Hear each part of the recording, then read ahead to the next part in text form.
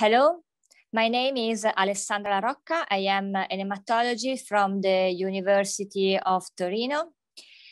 And uh, I would like to discuss with you uh, the role of novel agents in uh, uh frail patients.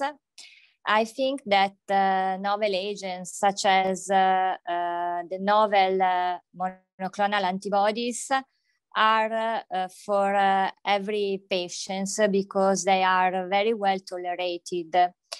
I only think that uh, treatment may be adjusted to the characteristics of the patients, considering not only the characteristics of the disease, but also the uh, specific characteristics of the patients, in particular considering if there are some aspects that may uh, require an adaptation of treatment.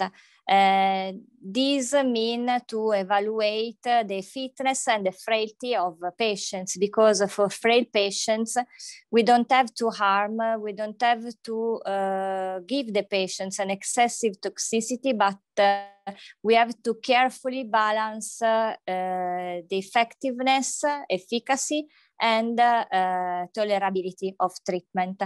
And uh, so I think that uh, potentially all treatments um, may be adapted to the characteristics of the patients and in particular for frail patients. Thank you very much.